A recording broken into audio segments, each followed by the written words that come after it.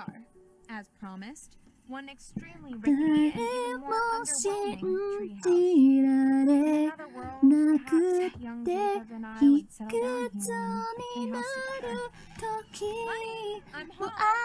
What's that now? I forgot the children's bedtime. Dumb bitch, Well, and now, I'm fine, do do? gonna die.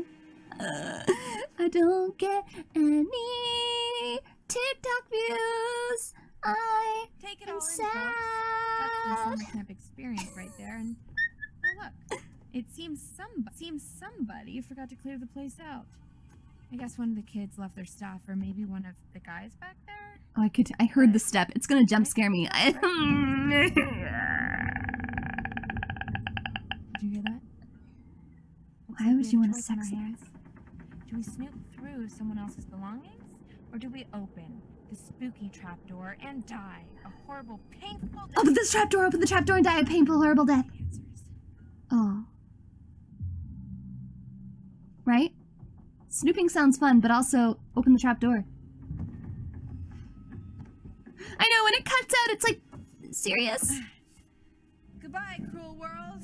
The final curtain is calling, and there's no time for an encore. Rip.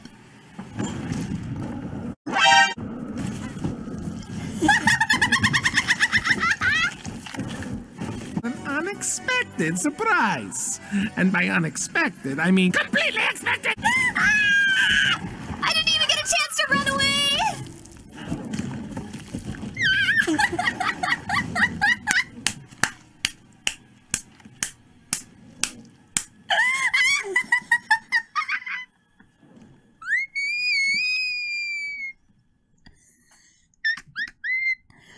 Dorime.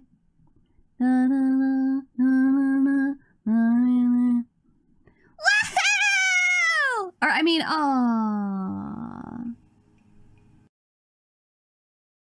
Oh, it's under the little black dome with the leads poking out. What?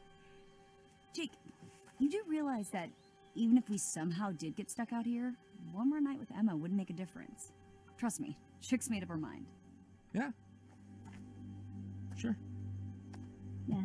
Emma's made up her mind. Guess we'll just have to find out. We'll have to murder Emma first.